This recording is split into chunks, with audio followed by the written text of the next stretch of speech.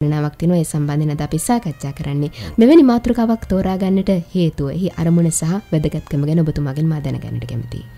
ඇත්තටම ඔබ වගේම මමත් අද අස්සනට එකතු වෙලා ඉන්න අපේ ආදරණීය අසන්නන්නේ වගේම අපේ ගොවි ජනතාවට සුබ දවසක් වේවායි කියලා ප්‍රාර්ථනා කරනවා. ඔබ කියපු ආකාරයටම වෙසක් මංගල්‍ය නියමිත දිනයන් පහුවල තිබුණත් තවත් අපි වෙසක් මාසේ තමයි ඉන්නේ. තවමත් වෙසක් උණුසුම වෙසක් සිරිය අපට දැනෙන අපට හැඟෙන අපට සංවේදී වන කාලයක අපි තාම නිරත වෙවි ඉන්නවා.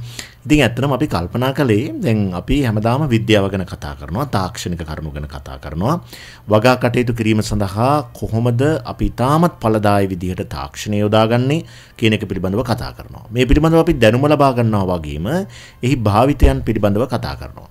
ඔබට මතක ඇති ගීතානේ අපි මේ මැදිරියේදී මීට සති කිහිපයකට ඉහතදී කතා කළා ගැප් ගැන. ගැප් කියන එක අපේ බොහෝ දෙනෙක් දැන් දන්නවා කෘෂිකර්මය පිළිබඳව උනන්දු වෙන අය good agricultural practices යහපත් කෘෂිකාර්මික පිළිවෙත් නැත්නම් යහපත් කෘෂිකාර්මික පුරුදු මේ තුලින් අපි බලාපොරොත්තු වෙන්නේ කෘෂිකර්මයේ කරන ලබන නිෂ්පාදන අපි ශ්‍රේෂ්ඨ සංස්ථාපනය කරපු අවස්ථාවේ ඉඳන් පාරිභෝගික ජනතාව අතරට පත්වන තුරු යහපත් ආකාරයට එම පිළිවෙත් අනුගමනය කිරීම. මොකක්ද මේ යහපත කියලා කියන්නේ? ඊටමත් කෙටියෙන් කියනවා නම් ප්‍රවේශයක් නිසා පාරිභෝගිකයාට සෞඛ්‍ය සම්පන්න ගුණාත්මක නිෂ්පාදනයක් අපි ලබා දෙන්නට ඕනේ. හැබැයි මේ යන ගමනේදී අපි පරිසරයට අධික හානියක් කරලා අන්තවාදී විදිහට වගා කටයුතු කළ යුතු වන්නේ නැහැ.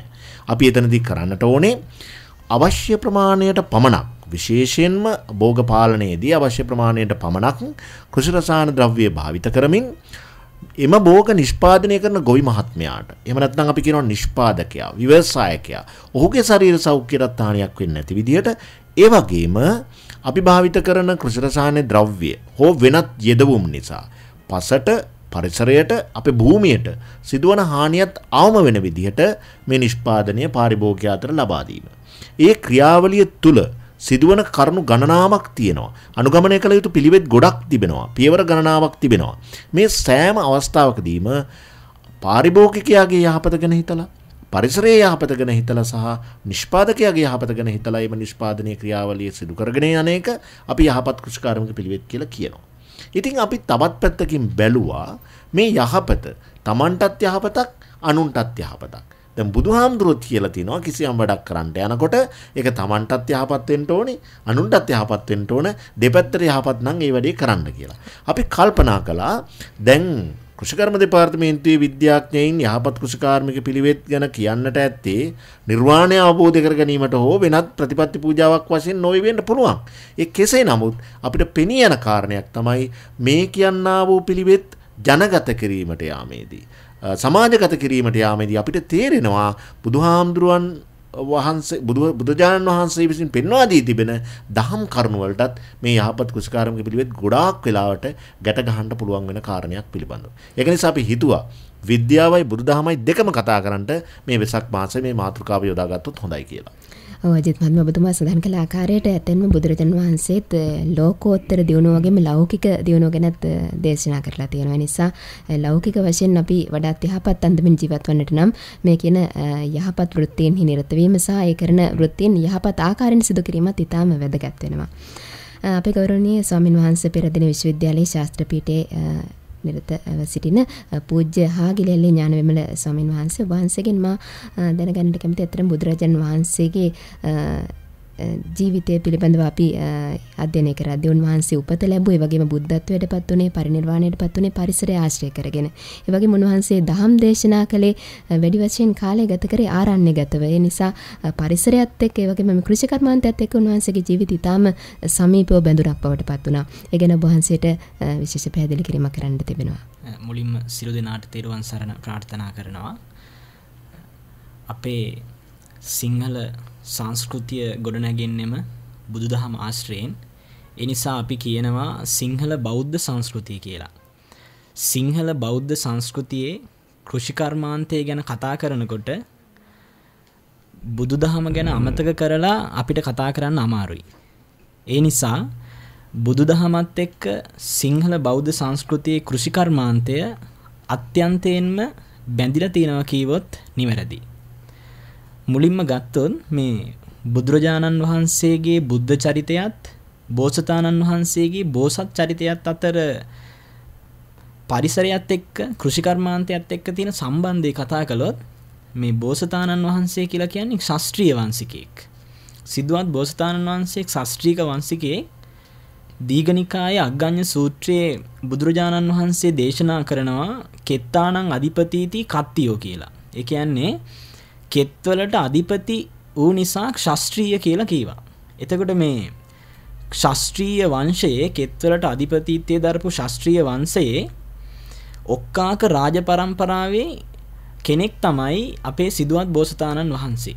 ඒ ඔක්කාක රාජ පරම්පරාවේ රජ දරුවන්ට නම් තැබීමේදී මේ ඕදන පාලියෙන් ඕදන කියනව බත් කියන එක ඕදන කියන නම අගට යෙදවා. ඒ අනුව අමිතෝදන දෝතෝදන ශුක්ලෝදන සුද්ධෝදනාදී වසයෙන් නම් තැබීම සිදු කරා. සුද්ධෝදන කියන්නේ අපේ බෝසතාණන් වහන්සේගේ පියතුමා. එතකොට අතීතයේදී මේ බෝසත් චරිතය අවස්ථා ගත්තට පස්සේ මේ ශාස්ත්‍රීය වංශිකයෝ වප්මගුල් උත්සවය මහා උත්කර්ෂයෙන් පැවැත්තුවා. රාජ්‍ය උත්සවයක් බවට වප්මගුල් උත්සවය පත් වුණා. එතකොට අපේ බෝසතාණන් වහන්සේ එක්තරා අවස්ථාවකදී මේ වප්මගුල් උත්සවය පැවැත්වෙනකොට උන්වහන්සේ ආනාපානසති භාවනාවේ අසබඩ වැඩුව කියලා අපි කවුරුත් කුඩා කාලේ දම්ම දන්නවා. ඒ වගේම අපේ බෝසතාණන් වහන්සේ මේ අබිනිෂ්ක්‍රමණය කරනකොට ජනාකීර්ණ පරිසරය අතෑරලා රජ සැම්පත් අතෑරලා උන්වහන්සේ වැඩියේ මේ නිස්කලංක වනපෙතකට ලස්සන සුදු වැලිතලා තියෙන ලස්සන මනරම් ගංගා ගලා යන මහා වනාන්තරයකට තමයි උන්වහන්සේ වැඩියේ. ඒ වගේම අපේ බුදුරජාණන් වහන්සේ බෝසතාණන් වහන්සේ උපත ලබන්නේ ලුම්බිනි සල්ලුවෙනි සල් ගසක් මුල. එතනත් පරිසර සම්බන්ධ වෙනවා. ඒ වගේම උන්වහන්සේ බුද්ධත්වය අවබෝධ කරගන්නේ ඇසතු කියන බෝගස මුල. එතනටත් පරිසරය සම්බන්ධ වෙනවා. ඒ වගේම අපේ බුදුරජාණන් වහන්සේ ඒ ධර්මය දේශනා කරලා සකල ලෝකවාසීන් බෞද්ධයන් ධර්ම සංවේගයට පත් කරලා පිරිනුවන් පාන්නේ උපවත්වන සල්ලුයනි සල්ගස් දෙකක් අතර. එනිසා ඒ ඒ විශේෂ සිදුවීම් තෙමගුල ගත්තත් උන්වහන් පරිසරය සම්බන්ධ වෙනවා. ඒ වගේම උන්වහන්සේ බුද්ධත්වයට පත් වෙලා අනිමිස්ස ලෝචන පූජාව පවත්වන අවස්ථාවේ උන්වහන්සේ අපිට ආදර්ශයක් දෙනවා මේ පරිසරයට අපි ගරු කරන්නේ කොහොමද කියලා. උන්වහන්සේට උදව් උපකාර කරපු පිට දුන්න ශ්‍රීමා බෝධීන් වහන්සේට උන්වහන්සේ ඇසිපිය නොහෙලා බලා සිටිමින් අනිමිස ලෝචන පූජාව පවත්වනවා. ඒ වගේම උන්වහන්සේ කෘෂිකර්මාන්තය ධාර්මික රැකියාවක් විදිහට දේශනාවලදී දේශනා කරනවා. මෙන්න මේ බෞද්ධ සංස්කෘතිය අපිට මිහිඳු මහරහතන් වහන්සේගෙන් ලංකාවට ලැබුණට පස්සේ ලංකාවේ රජවරු මේක ආදර්ශයට අරගෙන මේ සිංහල බෞද්ධ සංස්කෘතික රටේ පෙරදිග මහා ධාන්‍යාගාරය බවට ශ්‍රී ලංකාව පරිවර්තනය කරනවා. ඒ පෙරදිග මහා ධාන්‍යාගාරයේ ලහරි ලස්සන සංකල්පයක් තිබුණා ගමයි පන්සලයි වැවයි දාගබයි කහ සිවුරයි නිල් ගොයමයි කියලා. අපේ මිනිස්සු වැවක් හැදුවොත් ඒ වැවෙන් ගොඩගන්න පස්ටිකෙන් වැව් විස්මැත්තේ හැදුව චෛත්‍යයක්. ඒ වගේම ඒ වැවට පුරවපු මුල් දියවරෙන් ඒ පැන්ටික බුද්ධ පූජා වසයෙන් පූජ කරා. ඒ මුල් දියවරෙන් ලබාගත්ත ජලයෙන් වපුරපු කෙත්වත්තුවල අග්‍රභාගය මුල්ම අස්වැන්න භික්‍ෂූන් වහන්සේලාට ගිහිල්ලා දානය වශයෙන් පූජ කරා බුදුරජාණන් වහන්සේට දානය වසයෙන් බුද්ධ පූජා වසයෙන් පූජ කරා. එනිසා අපේ සංස්කෘතිය ගොඩනැගෙන්නෙම මෙන්න මේ සංකල්පයක් එක්ක. එතකොට අපි වී වගාම මේ වී බෝගය බුද්ධ බෝගයක් විදිර සලකන සංස්කෘතික මිනිස්සු කොටසක්. එනිසා අපි මේක ආදර්ශ ගත්තේ අපේ අඥ්ඥා කොණ්ඩඥ මහරහතන් වහන්සේ පියමතුරා බුදුනු සමය අතීතයේ මේ වී වපුරලා අවස්ථා නවයකදී අග්‍රභාගය මුල් කොටස අග්ගස්සදානය විදියට පූජ කලා කියලා බෞද්ධ සාහිත්‍යය සඳහන් වෙනවා. එකන්නේ වී වපුරපු අවස්ථාවෙන් පස්සේ කිරිවදිනකොට පැහෙනකොට හුළං කරනකොට මේ අදිවසෙන් අවස්ථා නවයකදී අග්ගස්සදානය දුන්න කියලා බෞද්ධ සාහිත්‍ය සඳහන් වෙනවා. අපි ඒක ආදර්ශයට අරගෙන අදටත් අපේ කෘෂිකාර්මික මිනිසුන් අග්‍රභාගය දළදා වහන්සේට බෝධීන් වහන්සේට භික්‍ෂූන් වහන්සේලාට පූජා කරන කොටසක් බවට පත් වෙලා තියෙනවා. හඳ අප හාමුදුරන වහන්සේ පැහැදිලි කළ ආකාරයට ඇත්තටම මේ විද්‍යාව කියන දේ අපි වර්තමානයේ බහුල වශයෙන් කතා කළාට එහි මීට වසර ගණනාවකට ඉහත වසර 2560 ගණනකට ඉහතදී බුදුරජාණන් වහන්සේ දේශනා කර තිබෙනවා හරිම නිවැරදි ආකාරයෙන්. ඒ දේවල් අපි මේ වර්තමාන විද්‍යාත්මක කරුණුත් එක්ක තමයි ගලපා ගන්නෙ. ඇත්තටම උන්වහන්සේ කරපු ওই පැහැදිලි කිරීම එක්ක ගත්තාම අපිට හොඳින්ම පැහැදිලි මේ පරිසරය ඒ වගේම කෘෂි කර්මාන්තය ඒ දේවල් අපේ ජීවිතෙන් අපෙන් වෙන් කරන්නට බැරි කොයිතරම් ඒකාබද්ධ වුණු දේවල් බවට පත් වෙලා තියෙනවද කියලා අජිත් මහත්මයා? ඔව් ඇත්තටම මේ දැන් අපේ හාමුදුරන්ගේ ප්‍රවේශයේදීම පැහැදිලි කරපු බොහෝ දේවල් අදත් රාජ්‍ය අනුග්‍රහයෙන් සිදුවෙන දේවල්.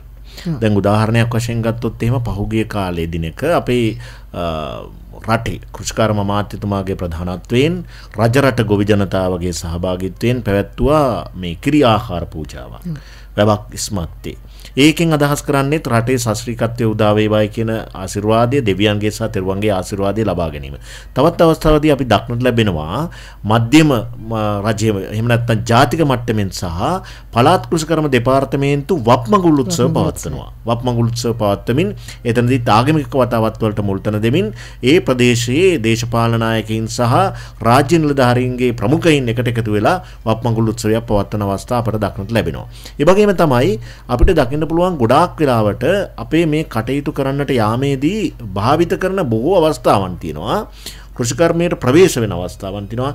එතනදී අර කාලාන්තරයක් තිස්සේ පවත්වාගෙනනු ලබන අපට විද්‍යාත්මක සමහට මතු පිටින් ඔප්පු කරන්නට බැරි බොහෝ පිළිවෙත් අනුගමනය කරනවා. අදත් බුද්ධාගමට ආගමට මුල්තන දෙමින් විශේෂම පිරිත් සජ්ජායනා කිරීම වගේ කටයුතු අපිට මේ සාකච්ඡාවේදී ඉදිරියේදී මේවා ගැන වැඩි විස්තර දැනගන්නට පුළුවන් වෙයි.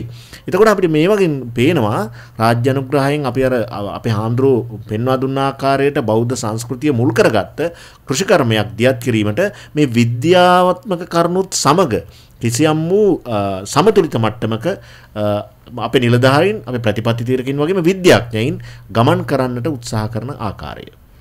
හොඳයි සෙනම් අපි බුදු දහම ඇසුරින් කළ මේ ඉගැන්වීම මේ යහපත් පිළිවෙත් අපි කොහොමද කෘෂිකර්මාන්තයට අදාළ කරගන්නේ ඒ ඔස්සේ කොහොමද අපේ ඉදිරි වැඩපිළිවෙල සකස් කරගන්නේ මේ පිළිබඳව තවදුරටත් සාකච්ඡා කරමු. අද අපි මාතෘකාව වශයෙන් ගත්තේ බුදු දහම ඇසුරින් කතා කළ GAP නැතිනම් Good Agricultural Practices යහපත් කෘෂිකාර්මික පිළිවෙත් පිළිබඳව. මේ සඳහා අපි ගෞරවපූර්වක ආරාධනා කළේ පෙරදින විශ්වවිද්‍යාලයේ ශාස්ත්‍ර පීඨයේ පූජ්‍ය හාගිල්ලි ඇල්ලේ ඥාන විමල ස්වාමීන් වහන්සේටත් ඒ වගේම ගුවන්විදුලි ගොවි සේවාවේ කඳුරට ඒකකේ සහකාර කෘෂිකර්ම අධ්‍යක්ෂ අජිත් ගුණසේකර මහත්මයාත් අද අස්වැන්නට සහභාගීව සිටිනවා. පෙරවරු 8යි විනාඩි 17යි දැන් වෙලාව.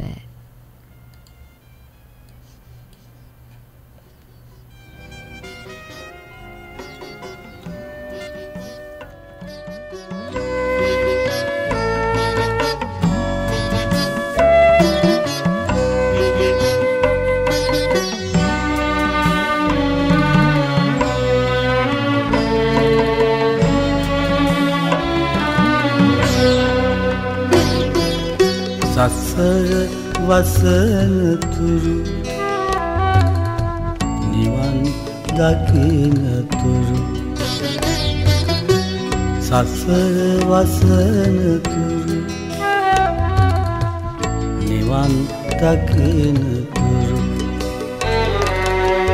තින්කෙත හෙලරන් දෙරනේ යල් උපදින්නට හේතුවාසනා වේවා හේතුවාසනා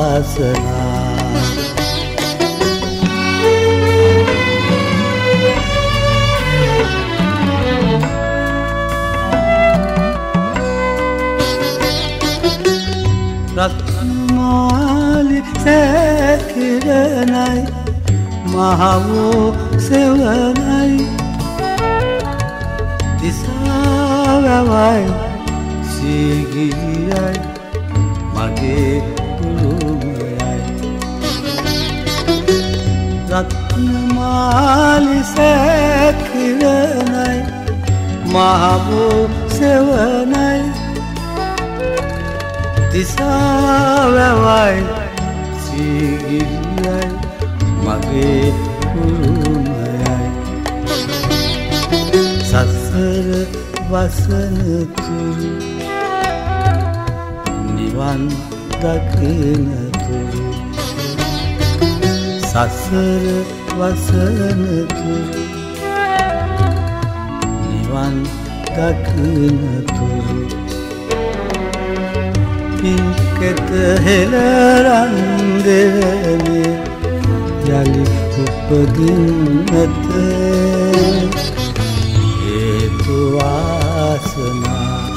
දේවා හේතු වාසනා.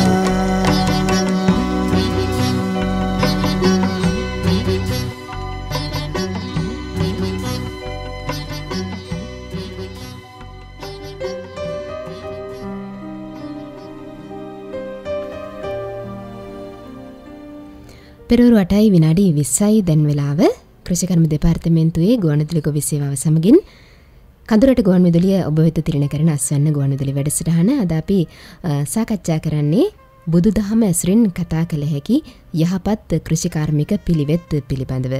අපි මේ කාලවක වනු තුළ වඩාත් සාකච්ඡාවට ගන්න කාරණාවක් පිළිබඳවයි මේ සාකච්ඡාවට ගැනන්නේ අද දවසේ පෙරදින විශ්වවිද්‍යාලයේ ශාස්ත්‍රපීටයේ පූජ්‍ය හාගිලියල්ලේ ඥානවිමල ස්වාමීන් වහන්සේත් ගුවන්විදුලි ගොවි සේවාවේ කඳුරට ඒකගේ සහකාර කෘෂිකර්ම අධ්‍යක්ෂ අජිත් ගුණසේකර මහත්මයාත් අද අස්වැන්නට සහභාගිව සිටින්නේ.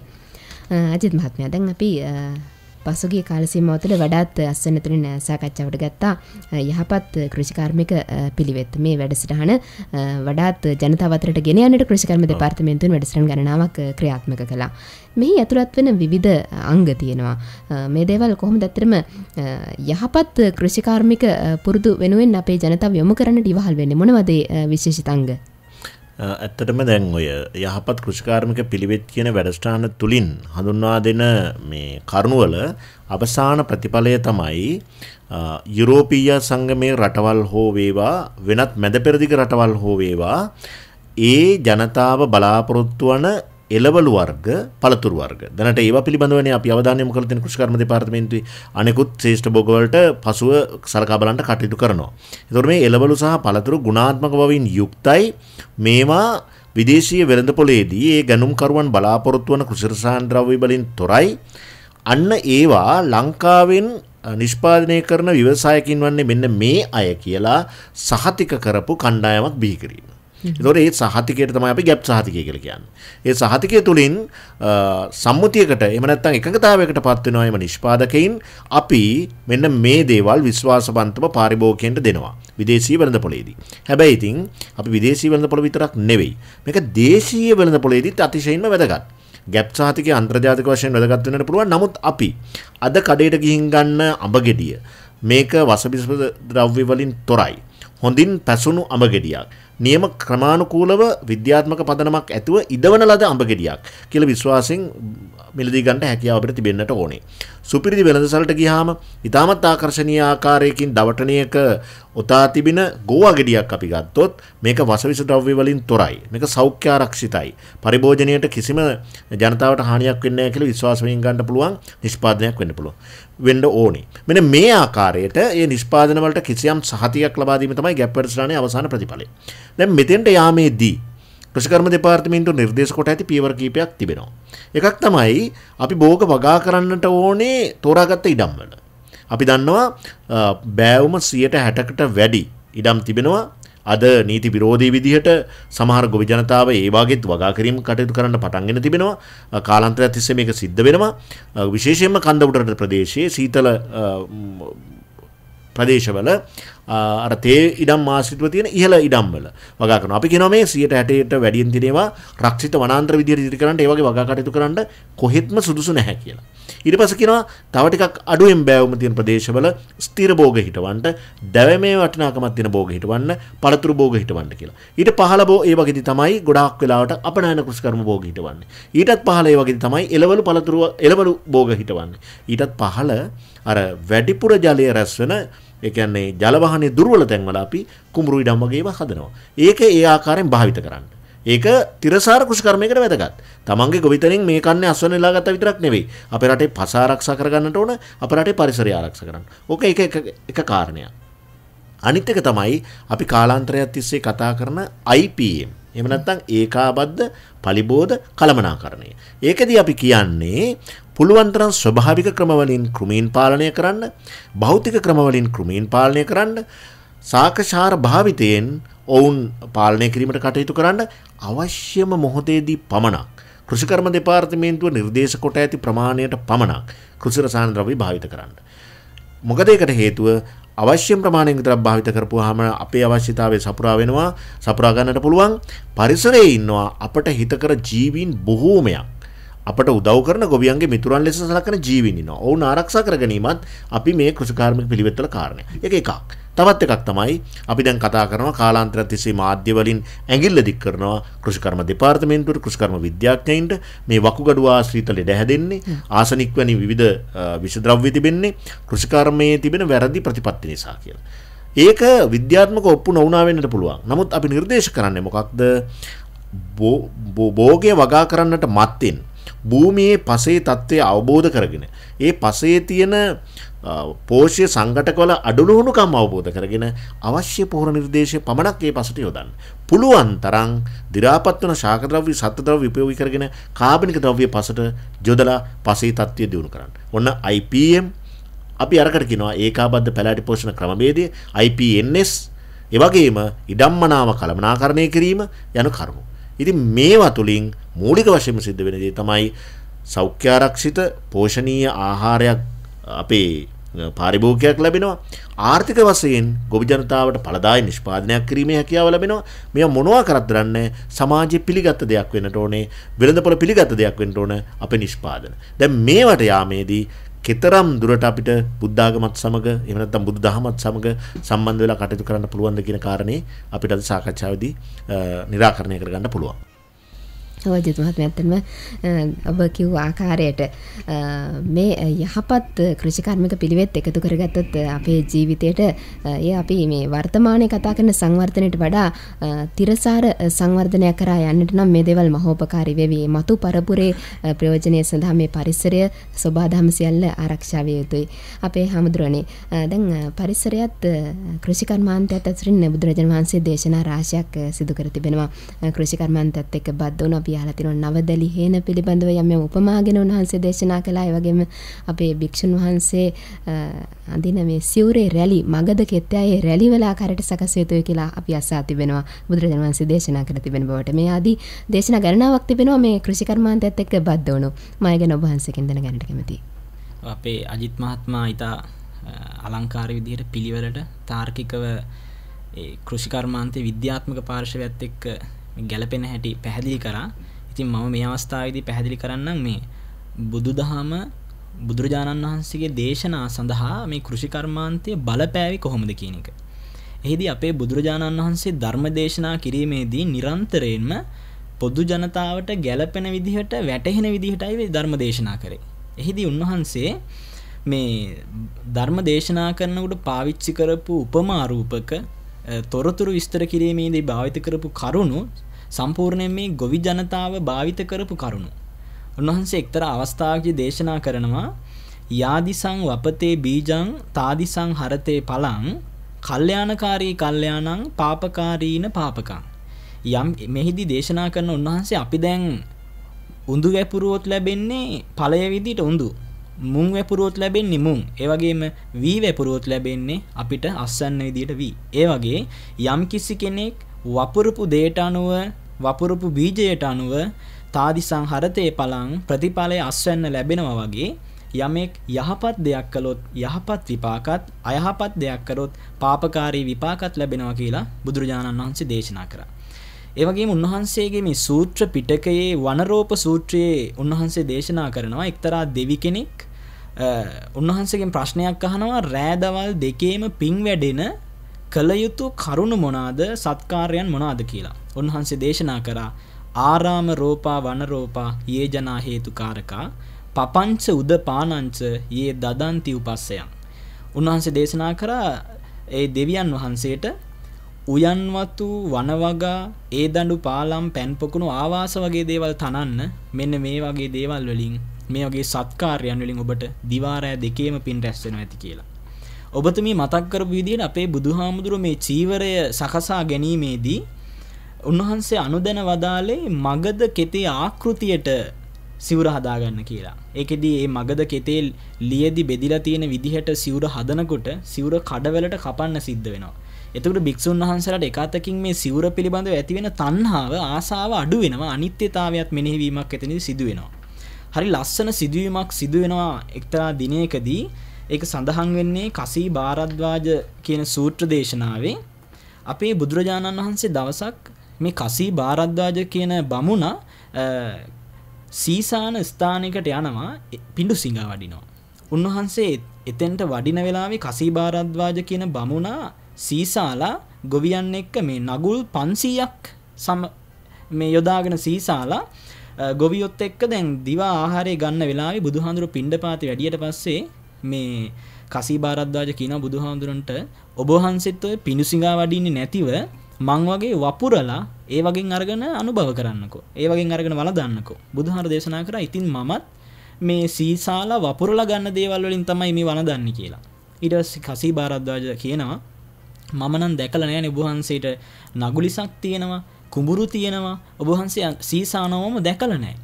ඒ වෙලාවේ බුදුහාර දේශනා කරනවා සද්දා බීජං තපෝට්ටි පඤ්ඤාමේ යුග නග්ගලං හිරි ඊසා මනෝ යොත්තං සතිමේ පාල පාචනං මගේ ශ්‍රද්ධාව තමයි බිත්තර වී කියන්නේ.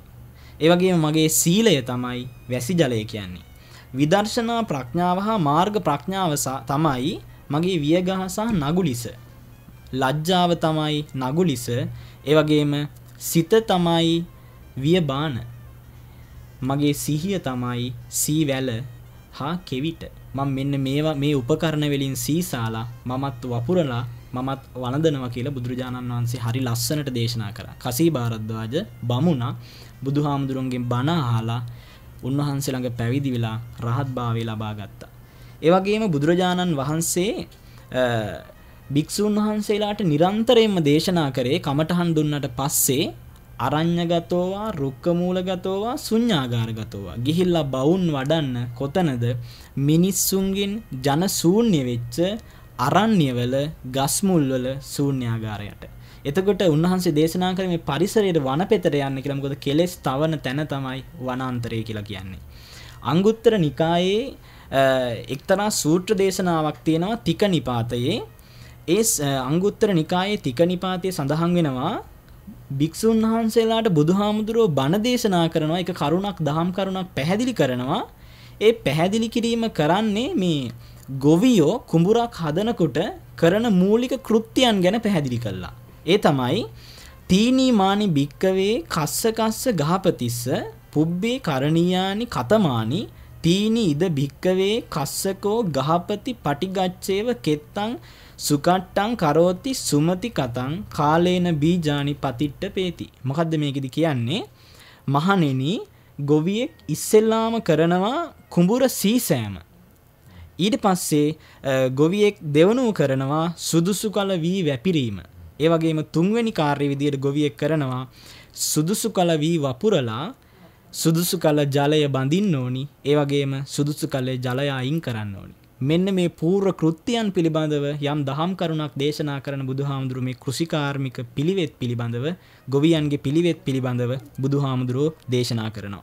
ඉතින් මෙන්න මේ කරුණු පිළිබඳව අවධානය යොමු කිරීමේදී අපිට පැහැදිලි වෙන්නේ බුදුරජාණන් වහන්සේ මේ උන්වහන්සේගේ දේශනා සඳහා මේ කෘෂිකාර්මික පිළිවෙත් කෘෂිකාර්මික තොරතුරු උපමාරූපකාදිය පාවිච්චි කරා කියලා. අපිට මේ සඳහා ලබා ගැති උදාහරණ බෞද්ධ දේශනාවලින් බෞද්ධ සාහිත්‍යයෙන් වගේම සූත්‍ර පිටකයෙන් අප්‍රමාණ සංඛ්‍යාවක් ලබා ගන්න පුළුවන් මේ සඳහා.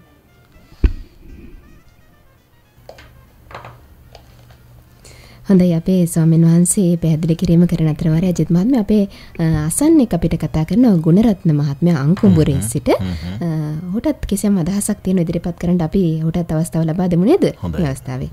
හොඳයි අයිබෝන් සුබෝදෑසන ගුණරත්න මහත්මයා. අයිබෝන්. ඔව් ඔබේ අදහස් ඉදිරිපත් කරන්නට අවස්ථාව. දැන් ඇත්තටම හොඳ මාතෘකාවකට අද යොමු වෙලා තියෙන බව පේනවා මේ වැඩසටහනේ.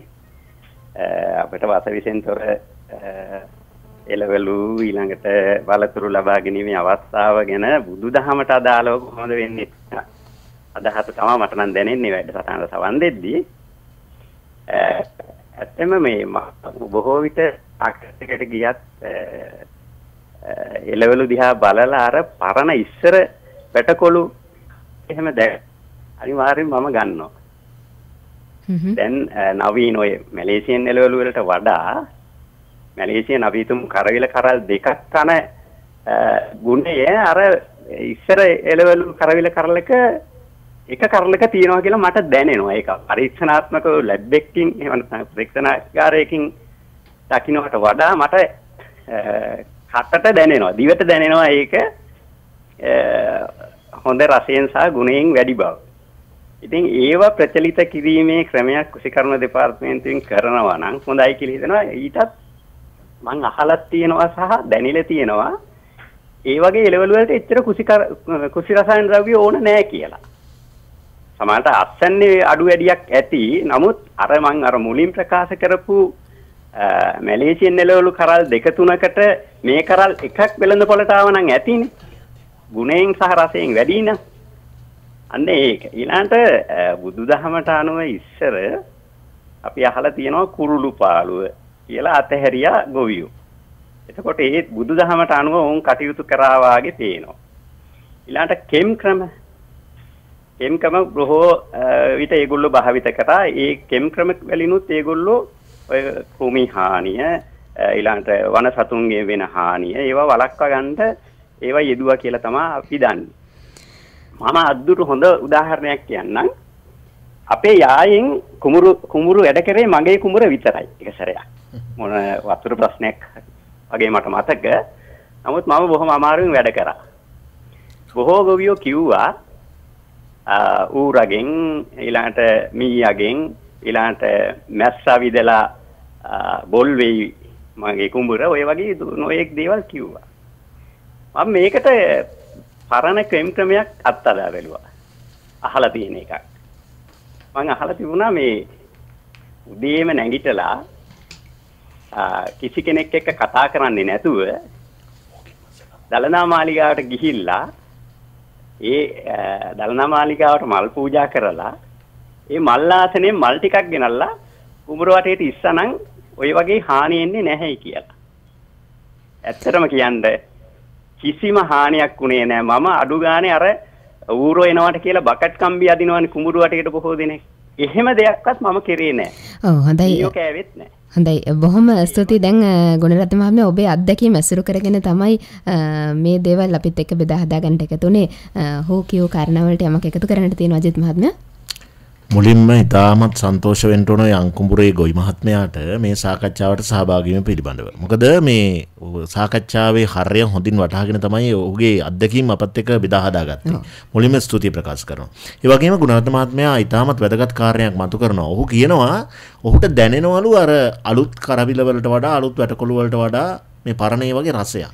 ඕක තමයි ගීතාන කියන්නේ සැබෑ ශ්‍රී ලාංකීය රසය.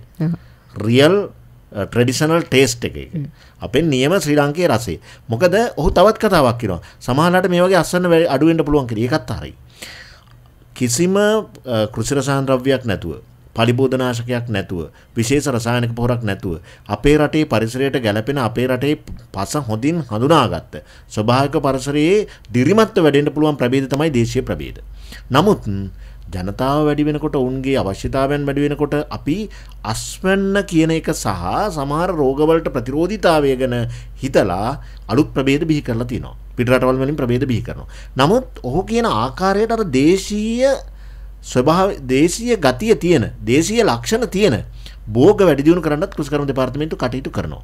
අනික අපිට දකින්න පුළුවන් එදා අර අපි කාපු රසවත් වට්ටක් වෙනුවට පස්සේ ආවනේ බොහොම කුඩා ප්‍රමාණයේ අර බටනට්ස් කියලා එහෙම කියන්නේ. ඒ වගේ බෝග ආවනේ. නමුත් ඒ වට්ටක්ක ප්‍රභේදවලම තියෙන ජාන ලක්ෂණ දියුණු කරපු ප්‍රභේද අද කෘෂිකර්ම දෙපාර්තමේන්තුව නිෂ්පාදනය කරනවා. එදා තිබුණු මිරිස්වල සැරට හර්යන සැර තියෙන දේශීය මිරිස් ප්‍රභේද නිෂ්පාදනය කරනවා. ප්‍රථම දෙමුහුම් ප්‍රබේදයක් මහලු පළම නිෂ්පාදනය කර. ඒවගේම අර කියපු වීවර්ගවලට වඩා ඒ දේශය වී ප්‍රවර්ධනය කිරීමට කුසකර්ම දෙපාර්තමේන්තුව එක පැත්තකින් කටයුතු කරන ගමන්ම ජනතාවගේ අවශ්‍යතාව සපුරා ගැනීම සඳහා වැඩි දියුණු කරපු වීවර්ගත් නිෂ්පාදනය කරනවා. මේ දේශීය අපේ උරුමය ආරක්ෂා කරගැනීමේ බලාපොරොත්තුවෙන් අපේ බෝග අපේ ප්‍රබේද සංවර්ධනය කිරීමේ වැඩසටහනක් කුසකරණ දෙපාර්තමේන්තුව ක්‍රියාත්මක කරනවා. ඒක දෙපාර්තමේන්තුව පිළිබඳ ගොඩක් විමසීමෙන් හිටපුවා අපේ ගුණරත්න මහතුරු වගේ විමසීමෙන් හිටියොත් ඒ ප්‍රබේද හඳුනා ගන්නට පුළුවන්. අපි ඔය කෙම් ක්‍රම ගැන ඔහුගේ අත්දැකීම ඉතාමත් ප්‍රශංසනීයයි. අපිට සමහරට විද්‍යාත්මකව මතුපිටින් පේන්නේ නැති වෙන්න පුළුවන්. නමුත් ඒ පිළිබඳ ශක්තියක් මේ පිරිත් පැන්වල එහෙම තියෙනවා. අපි ඒවා අදහනවා. අපි මේ සාකච්ඡාව ඉදිරි කොටසට කාලේ ඉතිරි කරගන්න ඕන නිසා අපි ආම්දුරු බලාපොරොත්තු වෙනවා. එවැනි ගොවිතන් සඳහා භාවිතා කරන විවිධ පිළිවෙත්වලට කොයි ආකාරයෙන්ද කෙම් ක්‍රම සහ බෞද්ධ ප්‍රතිපත්ති එකතු වුණේ කියලා සාකච්ඡා කරන්නට IPM කියලා කියන්නේ කට්ටලයක් ওই කට්ටලේ තුල කෙම් ක්‍රමක් තියෙනවා. ඔව් ඒ දේවල් වර්තමානයට අදාළ කර ගැනීම තමයි ඊටාම වැදගත් බවට පත්වන්නේ. ඔව් අපේ ස්වාමීන් වහන්සේ වෙත මානවතත් යොමු වන්නට කැමති අපේ හැමදෙරුනේ දැන් බුදුදහමෙන් අපිට නිරන්තරයෙන්ම පැහැදිලි වන කාරණාවක් තමයි පරිසර හිතවාදී බව. බුදුරජාණන් වහන්සේ අපිට ජලය පරිහරණය කළ යුතු ආකාරය පව පැහැදිලි කර තියෙනවා. ඒ වගේම අපි කොහොමද තවත් අයගේ භාවිතයට හානියක් නොවන ආකාරයට අපි ආහාර ටික අනුභව කරන ආකාරය පවා මේ සියල්ලක්ම ඊටාම සරල ආකාරයෙන් උන්වහන්සේ දේශනා කර දී තිබෙනවා. අපි ඔබ වහන්සේගෙන් ඒ ගැන දැනගන්න කැමති මේ පරිසර හිතවාදී බව බුදුරජාණන් වහන්සේ දේශනා කර තිබෙන ආකාරය පිළිබඳව. ඔව් දැන් බුදුරජාණන් වහන්සේ කියලා කියන්නේ අතිශයින්ම පරිසර හිතවාදී ශාස්ත්‍රඥ වහන්සේ නමක්. උන්වහන්සේ එකාතකින් අතිශයින්ම මානව හිතවාදී උත්තරීතරම ශාස්ත්‍රඥ වහන්සේ ඒ අතර අපේ බුදුරජාණන් වහන්සේ තමයි අතිශයින්ම පරිසර හිතවාදී ශාස්තෘන් වහන්සේ වුණේ. බුදුරජාණන් වහන්සේ මේ පරිසරය විනාශ කරන ආගමික පිළිවෙත් තිබුණා එදා ඉන්දියාවේ ඒව උන්වහන්සේ නිර්දය විදිහට විවේචනය කරා ප්‍රතික්ෂේප කරා. කූටදන්ත සූත්‍රයේ සූත්‍ර පිටකයේ කූටදන්ත සූත්‍රයේ සඳහන් වෙනවා මේ බ්‍රහ්මණයන් විශාල සතුන් පිරිසක් ඝාතනය කරමින් එවගේම විශාල බීජ ධාන්‍ය ප්‍රමාණයක් විනාශ කරලා ගින්දරට දාලා පුච්චමින් එවගේම මහා විශාල ප්‍රදේශයක ගස් කොළන් කපලා මහා විශාල පරිසර විනාශයක් කරමින් සිදු කරපු යාග කළා දෙවියන් වහන්සේට. බුදුරජාණන් වහන්සේ දේශනා කරා පැහැදිලිවම මේ මහා විශාල ධාන්‍ය විනාශයක් බීජ විනාශයක් කරලා පරිසර විනාශයක් කරලා සත්ව විනාශයක් කරලා කරන යාගය කිසිම ප්‍රතිඵලයක් නැහැ නිස්ඵල ක්‍රියාවක් කියලා. එතකොට බුදුරජාණන් වහන්සේ භික්ෂූන් වහන්සේලාට විනය දේශනා කිරීමේදී විනය පිටකයේදී දේශනා කරන උන්වහන්සේ මේ ගසකින් කොළයක් කැඩීම පවා උපසපන් භික්ෂුන් වහන්සේලාට ඇවතක් විනය නීතියට අනුව විනය විරෝධී ක්‍රියාවක් කියලා බුදුරජාණන් වහන්සේ දේශනා කරා. ඒ වගේම මේ බීජ විනාශ කිරීම. බීජ කියලා කියන්නේ බිත්තරයක් වගේ. මේ බීජ විනාශ කිරීම උපසමන් භික්ෂුන් වහන්සේලා නොකළ යුතුයි. ඒ නිසා අපේ හාමුදුරන් වහන්සේලා මේ පුවක් ගෙඩියක් කැපීම පවා වරදක් විදිහට ඇවතක් විදිහට තමයි සැලකුවේ. ඒ නිසා ඒක දායකයෙකුට දීලා දායකයෝ තමයි පිළිගැන්නුවේ. ඒ වගේම මේ අපේ බුදුහාමුදුරෝ මේ වස්සා වාසයක් පිළිබඳව විනය පිටකයේ දේශනා කරා. ඒ කාලේ ඉන්දියාවේ වෙනත් ආගමික ශ්‍රමණයෝ නිගන්ටයෝ වගේ අය මේ වැසි සමයේ ගමන් බිමන් වලින් තොර වුණා. එකට හේතුව තමයි වැසි සමයේ පොළොවෙන් මතුවන නව වල් පැලෑටි ඒ වගේම සත්තු පෑගිලා මිය යනවා. ඉතින් මිනිස්සුන්ගෙන් අදහසක් ආවා මතු වුණා මේ භික්ෂූන් වහන්සේලා පමණක් පිඬු සිඟා වඩිනවා. අනිත් අය මේ සත්තු පවා ගුහාවලටලා ඉද්දි. බුදුහාමුදුරුව කියන්නේ මහා ප්‍රජාතන්ත්‍රවාදී කෙනෙක්. මහජන මතයට කන් දුන්නා භික්ෂුන් වහන්සේලාට අනුදැන වදාලා විනය පිටකේ වස් කාලේ වස්තුම් මාසේ ආරාමවලටලා වැඩවසන්න පැල්වල් පැලෑටි පාගමින් ඇවිදින්න එපා පිඩුසිගා වඩින්න එපා සංචාරය කරන්න එපා කියලා. ඒක අදටත් අපේ ලංකාවෙත් වැසි සමයේ වැසිතුම් මාසේ භික්ෂුන් වහන්සේලා වස් සමාදන්නවා. ඒවගේම උන්වහන්සේ දේශනා කරා මේ ජල දූෂණය කියන එක අතිශයින්ම වැරදි ක්‍රියාවක් කියලා මේක අදට හොඳටම ගැලපෙනවා අපි අද ජල දූෂණය නිසා මේ පරිසරයට එකතු කරන විස රසායන නිසා මේ රජරට ප්‍රදේශී වකුගඩු රෝගය දිහා බැලුවොත් අපිට පැහැදිලි වෙනවා. උන්වහන්සේ දේශනා කරා භික්ෂුන් වහන්සේලාට චුල්ලවග්ගපාලියේ ජලයට මල පහ එකතු කරන්න එපා. ඒ වගේම ජලයට මූත්‍ර කරන්න එපා. ඒවගේම කෙල ගහන්න එපා එහෙම වුණොත් ඒක දුක්කටාපත්තියක් විදිහට දුකුලා ඇවතක් විදිහට විනය පිටිකේ උන්වහන්සේ දේශනා කරා.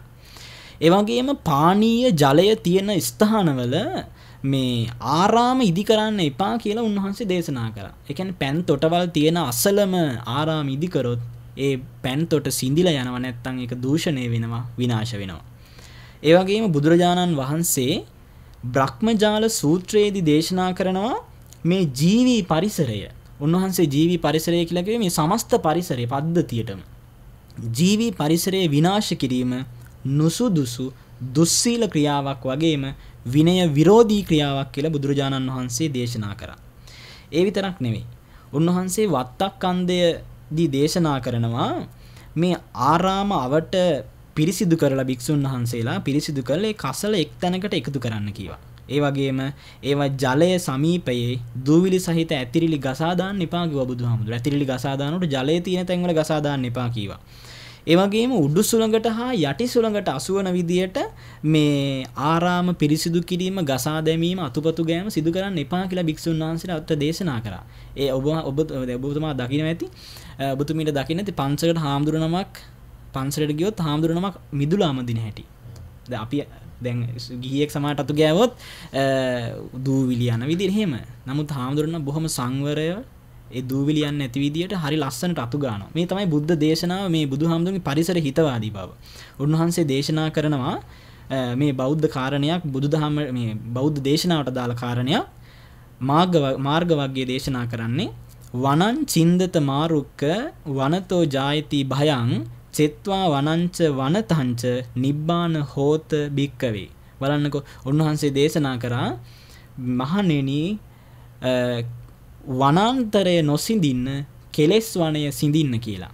ඒ කීවේ මේ වනාන්තරයේ ගස්වැල් පැලෑටිවලට කිසිම හානියක් කරන්න එපා. හැබැයි මේ සිතේ තියෙන කෙලෙස් වනය විනාශ කළා දාන්න සිඳින්න සිඳලන්න කියලා බුදුහාමුදුරු දේශනා කරා. ඒ වගේම උන්වහන්සේ සේකියාවලදී දේශනා කරා මේ ගොවි මහත්තුරු දාඩිය මුගුරු වගුරු වල ලබා ගන්න බත් ඇටයකට පවා ගරු කරන හැටි. න සුරුසුරුකාරකම් බුංජිස්සාමීති සික්කාකරණීය. න චපුචපුකාරකම් බුංජිස්සාමීති සික්කාකරණීය.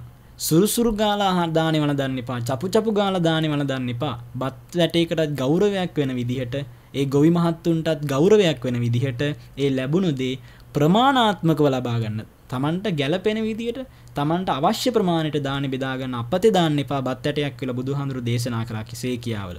ඒ නිසා අදටත් ඒ දේශනාවලට අනුව ගොඩනැගිච්ච අපේ සිංහල බෞද්ධ සංස්කෘතික රටේ ලංකාවේ අපේ ගොවියෝ දෑකැත්තට වඳිනවා උදැල්ලට වඳිනවා කමතට වඳිනවා බැත ටිකට වඳිනවා පැත ටික ගෙදරට ගෙනලා අලුත් සහල් හදලා ඒ බත් මුට්ටිය ගොඩ මේ බිමට ගන්න කලින් අපේ අම්මලා බත් මුට්ටියට තුන් වතාවක් වඳිනවා.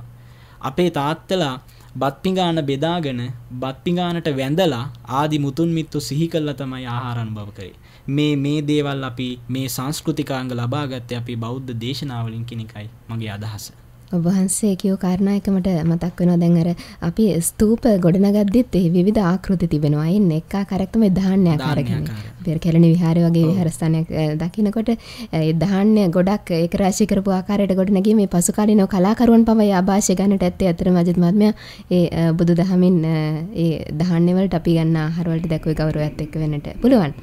හොඳ එසනම් අපි ගීතයක් අසන්නට කාල වෙලා යොදාගෙන නැවත එකතු වන්නට සෝදානම් අස්වන්න සමගින් අද අපි සාකච්ඡා කරන්නේ බුදුදහම ඇසුරින් කතා කළ හැකි යහපත් කෘෂිකාර්මික පිළිවෙත් පිළිබඳව පෙරදෙණිය විශ්වවිද්‍යාලයේ ශාස්ත්‍ර පීඨයේ පූජ්‍ය හාගිලියල්ලේ ඥානවිමල ස්වාමින් වහන්සේත් ගුවන්විදුලි ගොවි සේවාවේ කඳුරට ඒකකයේ සහකාර කෘෂිකර්ම අධ්‍යක්ෂ අජිත් ගුණසේකර මහත්මයාත් අද අස්වන්නට සහභාගීව සිටින්නේ.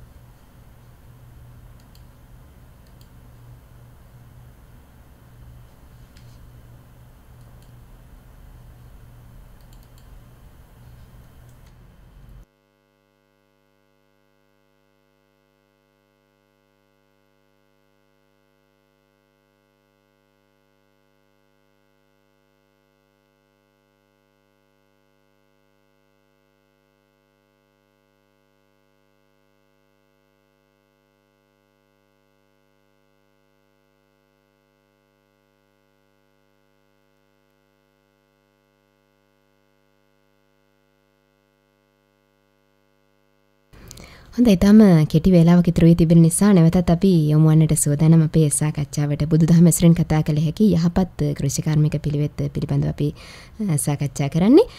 අජිත් මහත්මයා දැන් අපි කෘෂිකර්මාන්තයේදී භාවිත කරන මේ යහපත් කෘෂිකාර්මික පිළිවෙත් ප්‍රායෝගිකව භාවිත කළ හැකි ආකාරය පිළිබඳව අපේ ගොවි ජනතාවට ඒ පණිවිඩය ලබා දිය යුතු වන්නේ කොහොමද? මේ ප්‍රායෝගිකත්වයට නගන්නේ මේ ඉගැන්වීම.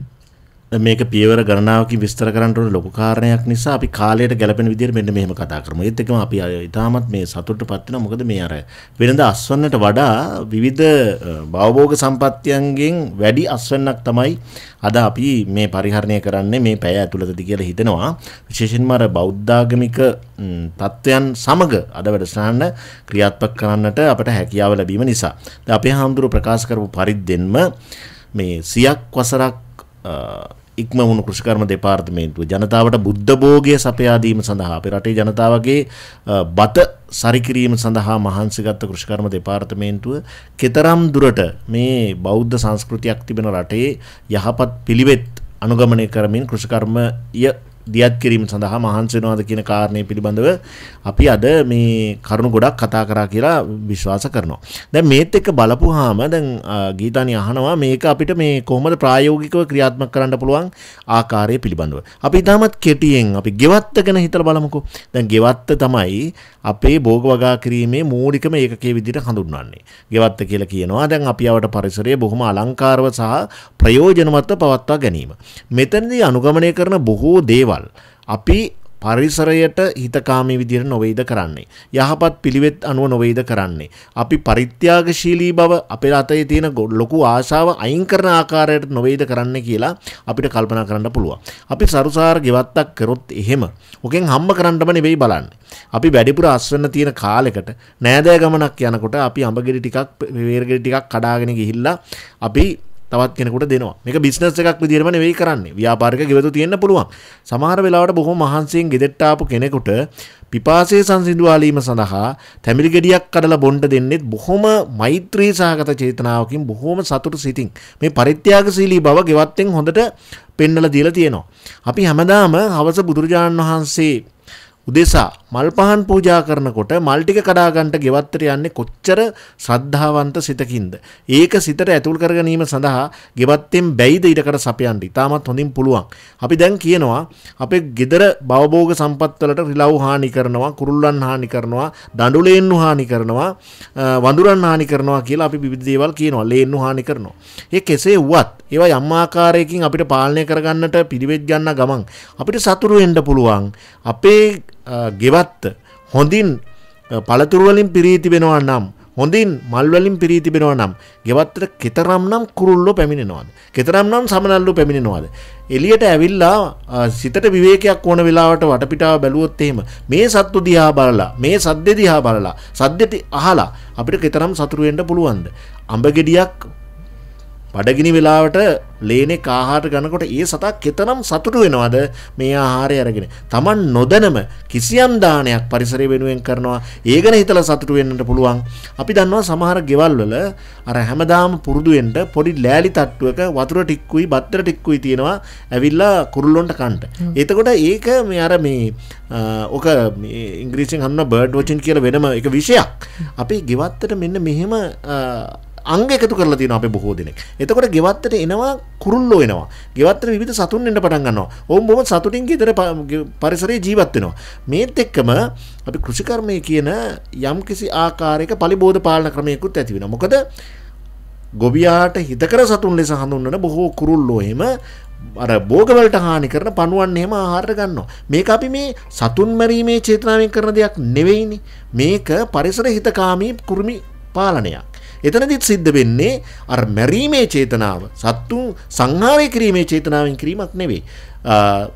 වටපිටාව ඉන්න කුරුල්ලන්ට ගැවසීම සඳහා හොඳ පරිසරයක් ගෙවත්ත තුළ නිර්මාණය කිරීම පරිසර හිතකාමී පලිබෝධ පාලනයටත් එක්තරා මට්ටමකින් මඟ පෙන්වනවා. මෙන්න මේ විදිහට බලපුවාම බොහොම පරිත්‍යාගශීලී ඔබ වහන්සේ කියපු විදිහට කෙලෙස් වන සංහාරයෙන් පස්සේ මේ අපි කරන භවභෝග නිෂ්පාදනය තුළින් අපිට පුළුවන් බොහොම හොඳ බෞද්ධ මුහුණුවරකින් ජීවිතය ගැටගසා ගන්න. අජත්මහත්ම දැන් අපි අතීත කාලයේදී හේනක් ගිනි තියන්නට කලින් අන්ඩහැරයක් පානවනේ දර වටේන සතුන්ට වනසතුන් ඉවත් වන්නට ඒක අතර බුදුදහමෙන් ලැබිච්ච ඉගැන්වීම අපි කොහොමද ප්‍රායෝගිකත්වයට ගත්ත කියන එකට හොඳ උදාහරණයක්. ඔව් සීපදවල කොච්චරනම් කියනවද තෙරුවන්ගේ ආශිර්වාදය ලැබෙන්න කියලා නේද? ජන කවිවල. අම්බරුවට කතා කරන විදිහ මය පුතේ කියලා දරුවෙකුට වගේ කොයිතරම් මේ මානව දයාව සත්ව කරුණාව තිබුණාද අපේ මිනිසුන් තුළ. ඒ දේවල් තමයි අපි යලි වර්තමානයට එකතු කරගත යුත්තේ. අපේ ස්වාමීන් වහන්සේ. දැන් මේ කෘෂි කර්මාන්තයේ විද්‍යාත්මක පාර්ශ්වය පිළිබඳ අජිත් මහත්මයා පැහැදිලි කර දුන්නා. ඊට බුදුදහමේ තිබෙන සම්බන්ධතාව අපිට හොඳින්ම පැහැදිලි. මේ බුදුදහමේ සියලු ඉගැන්වීම් හේතුඵලවාදී අපි කිසියම් හේතුවක් සහිතව තමයි ඵලය හටගන්නේ කියන වගේ තමයි බුදුරජාණන් වහන්සේ දේශනා කරන්නේ. මේ විද්‍යාත්මක පාර්ශවයත් එක බුදුදහමේ තියෙන සම්බන්ධතාව ගැන ඔබ වහන්සේගෙන් මා පැහැදිලි කිරීමක් බලාපොරොත්තු වෙනවා. ඔව් බුදුදහමට අනුව අපි යම් කෙනෙක්ගෙන් හෝ යම් දෙයක් දෙයකින් ප්‍රයෝජනයක් ගත්තොත් අපි ඒටත් යහපතක් ඒ කෙනාටත් යහපතක් කරන්න ඕනේ. ඒකනේ අපේ බුදුහාමුදුරුවෝ බෝමුල පිට දීලා බුදු බව අවබෝධ කරගෙන අනිමිස ලෝචන පූජාව පැවැත්වී මේ බලන්න මේ ගාථාව ධම්මපදයේ පුෂ්ප වර්ගයේ තියෙන්නේ යතාපි බමරෝ පුප්පං වන්නගන්ධං අහේතයන් ඵලේති රස මාදාය ඒවංගාමේ මුනිචරේ. භික්ෂුන් වහන්සේලාට දේශනා කරා ගමේ හැසිරෙනකොට මිනිස්සුන්ගෙන් පිඩු පිණිස දාණය ලබා ගන්නකොට බමරෙක් මලටත් මලේ පැහැයටත් හානියක් නොකර පැණි ගන්නවා වගේ රොන් ගන්නවා වගේ භික්ෂුන් වහන්සේලාට ගමෙන් යැපෙන්න කියලා දේශනා කරා. ඒ වගේම ඒ මිනිස්සුන්ටත් යහපතක් කරන්න කියලා දේශනා කරා. දැන් බමරා රොන් ගන්නකොට මලට යහපතක් කරනවා ඒ තමයි පරාගණය කරන්නේ බමරා විසින්. එතකොට බමරා පරාගණය කරේ නැත්තම් ඒ මලෙන් ප්‍රයෝජනයක් වන්නේ නැහැ, gediyak බවට පත්වන්නේ නැහැ.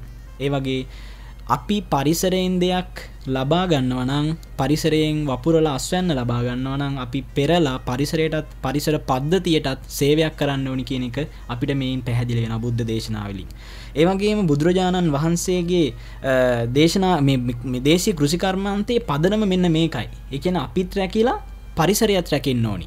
අපි විතරක් රැකිලා හරියන්නේ දැන් නවීන මේ මේ පලිබෝධ සමග එන කෘෂිකර්මාන්තයේ අපි ගැන විතරයි අපි හිතන්නේ පරිසර පද්ධතිය ගැන හිතන්නේ හැබැයි අපිත් පරිසර පද්ධතියේම කොටසක් නිසා අපිත් විනාශ වෙනවා ඒ ක්‍රියාවන් නිසාම. ඒ වගේම මේ අපේ අතීතයේ ඔබතුමිය කියෝ වගේම මේ හේන් කෙටීමට ප්‍රථම සත් මේ වටේ තුන් වතාවක් ඇවිදලා සත්තුන්ට අඳුරයක් පානව අයින් වෙන්න කියලා. බලන්න එතන තියෙන මේ මානව හිතවාදී බව මේ පරිසරයට තියෙන ආදරය. ඒ වගේම අපේ මිනිස්සු අර ප්‍රශ්නයක් අහපු දුරකථනයෙන් ප්‍රශ්නයක් අහපු මහත්මා කීව වගේම ගොවි මහත්මා කීව වගේම කුඹුරේ කොටසක් වෙන් කරා කුරුළු පාළුව කියලා. කුරුල්ලන්ට අනුභව කරන්න. අන්න ඒ වගේ මේ ඔවුන් විශ්වාස කරා ගොවියෝ මේ පරිසරයේ මේ අස්වැන්නේ අයිතිකාරයෝ තමයි එක් කොටස්කරුවෙක් තමයි සත්තු කියන්නේ කියලා. ඒ වගේම බුදුරජාණන් වහන්සේ මේ දජග්ග සූත්‍රයේ දේශනා මේ කරපු දජග්ග සූත්‍රය මේ බෞද්ධ සාහිත්‍යයේ සඳහන් වෙනවා එක්තරා ගාතාවක් මේ සියලු පළතුරු වර්ගවල මේ මේ සත්තු නොකෑම සඳහා මැස්සෝ විදින එක නතර කර ගැනීම කෘමිහානි වලක්ව ගන්න මේ දජග්ග සූත්‍රයේ තියෙන සුපටිපන්නෝ භගවතෝ සාග සංගෝ කියන මේ ගාථා පාඨය මේ පැන් මතුරලා ඒ පළතුරු වලට ඉහින්න කියලා බුදුහාඳුරු දේශ මේ බුදුහාඳුරු දේශනා කරපු මේ සූත්‍ර දේශනාව අපි අද පාවිච්චි කරනවා. ඒ වගේම මෙන්න මේ දජග්ග සූත්‍රයේ මේ සූත්‍ර පාඨය තංකිස්ස හේතු තථාගතෝ භික්කවේ අරහං සම්මා සම්බුද්ධෝ වීතරාගෝ වීතදෝසෝ ආදී වශයෙන් සඳහන් කරන මේ සූත්‍ර පාඨය ලියලා කුඹුරේ එල්ලුවොත් සත්තු කන්නේ නැහැ කියලා පිරිත් පොතේ සඳහන් වෙනවා. අපේ ගොවියෝ ඒ කෙම් ක්‍රම අදටත් කරනවා.